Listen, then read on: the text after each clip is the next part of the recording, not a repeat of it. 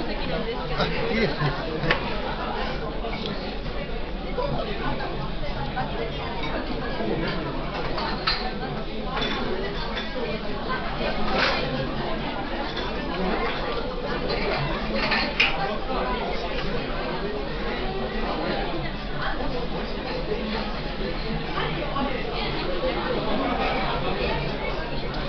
は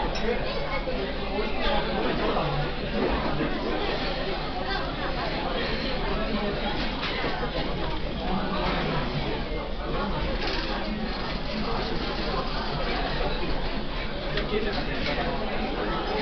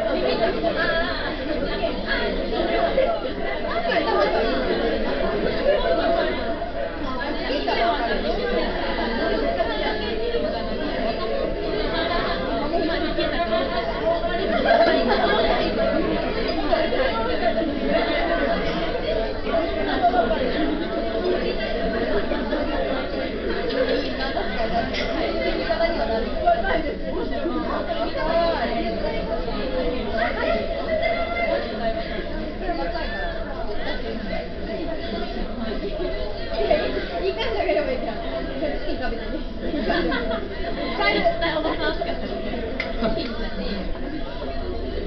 当はそういう使い方なんだよ。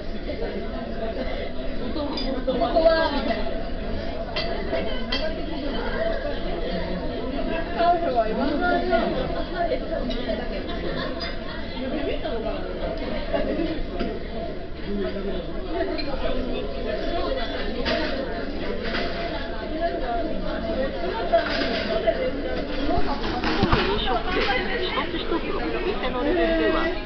製造はまたは費用で働かない小さいお店の方がともすると有利だったりしかしですねその一方で宣伝広告に関してはやはり中華製造働くそうするとフランチャイズというのはどういうシステムかというと調理であったり、えーまあ、サービスの部分ここについてはここの審査が多いですしかし規模の経済就活製造が働くような仕入れが人がで行うことで大きいことはいいことだの電子化を生かしましょうでそれをいことは良いとこ取りのためにできたのがフランチャイズというシステムで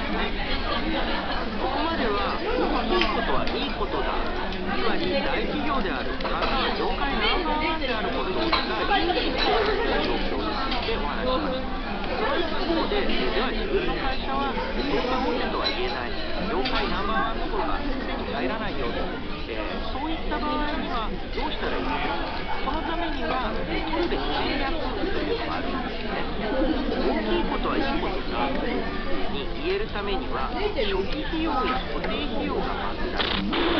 ナンバーワンであることに意味があり、広告、中でもマスメディアでの広告が意味を持つ。これを繰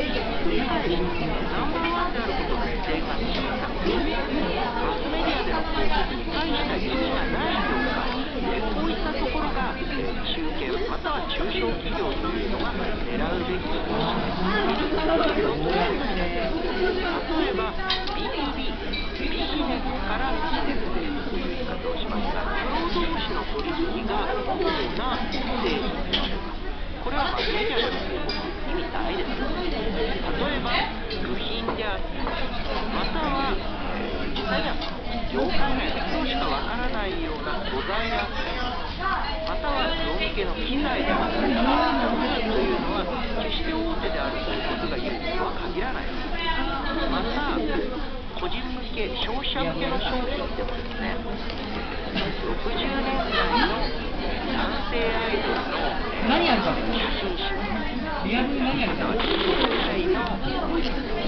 ィゼルの、えー形えーまあ、ものを売る場合これマスメディアで広告することほどのマーケットが大きくない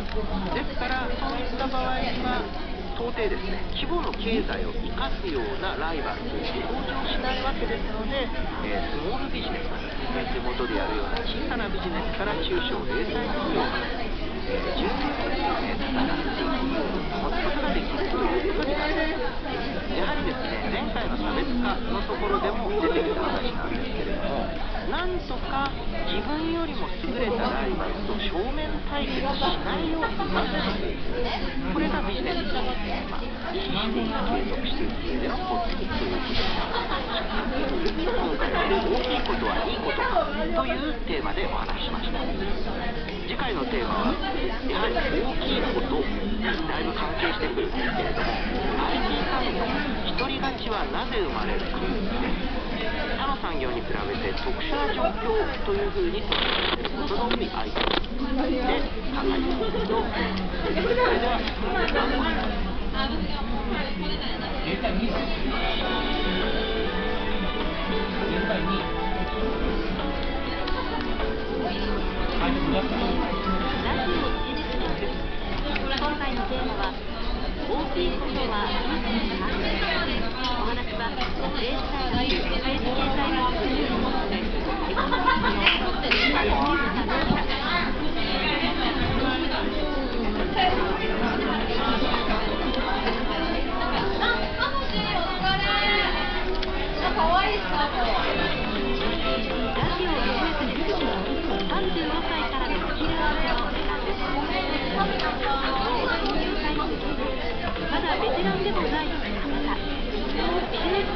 今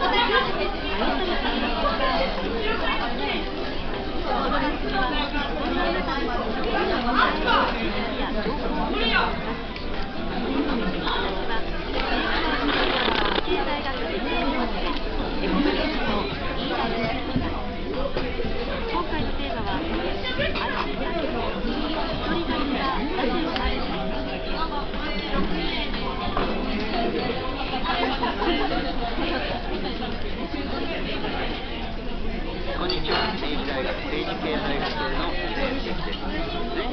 大きいことはいいことかというテーマでここから大きいことがいいことではないそしてスモールビジネスのではそのような大きいことがいいとは限らないような世界で戦っていくそういう戦略が必要だというお話をしました今回のテーマは IT 産業一人勝ちはなぜ生まれる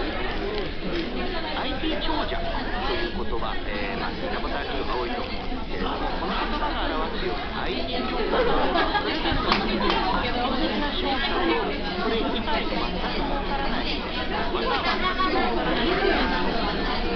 大きな格差が生まれる、えー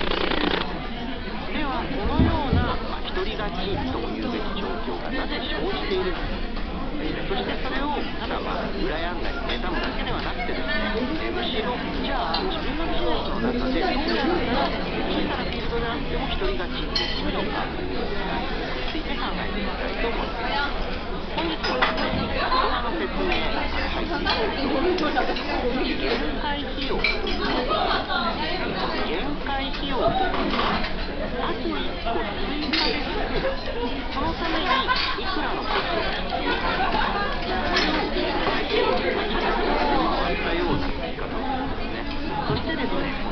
限界費用というのが実は非常に強い競争状態にあるんですが限界費用に向かって価格がどんどん落ちていく競争を通じてあと一歩追加で作るコストプラスちょっとぐらいのところまで価格が落ちていくという傾向があります。その時にですね、IT 業界の費用面、特徴があります。本体ではなくて、その上で様々な仕事をするために必要なソフト、アプリについて考えているこのソフトウェア、またはアプリの業界の限界費用というのはゼロであるという。どういうことか。というと、絶対プログラムをしてしまったら、それをコピーするというのは、限りなくゼロに近いんですね。一応、店頭で売ってるソフトであれば、箱代であったり、マニュアル代というのがあるか。もしれませんが、最近ですと、インターネット上で、えーそういったものをダウンロードするという方が多いので、え